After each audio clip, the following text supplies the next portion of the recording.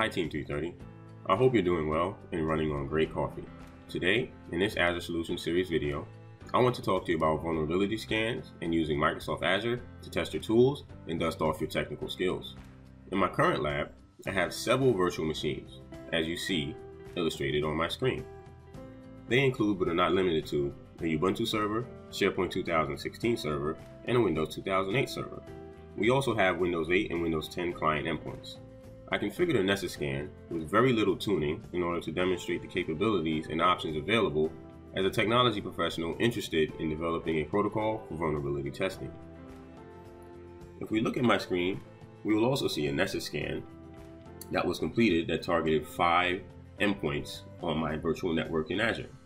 If we take a look at the first in the list, we'll see 192.168.3.9. We'll click on this endpoint and we'll see the vulnerabilities that were reported by Nessus. If we click on the first vulnerability, we'll see this is related to the Meltdown and Spectre vulnerability reported in January of 2018.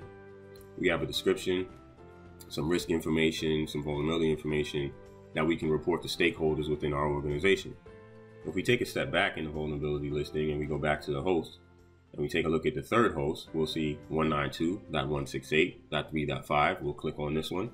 And we'll also see information related to vulnerabilities found on this Ubuntu server. Nessus can pick up vulnerabilities on different operating systems, different versions, and report them. We can then take this information and report it up the chain to our stakeholders so they can make risk based decisions based on what we need to do within our organization. Patching is key. For more information on vulnerability assessments, Microsoft Azure, Microsoft Office 365, please contact 330am Technologies. Thanks for watching.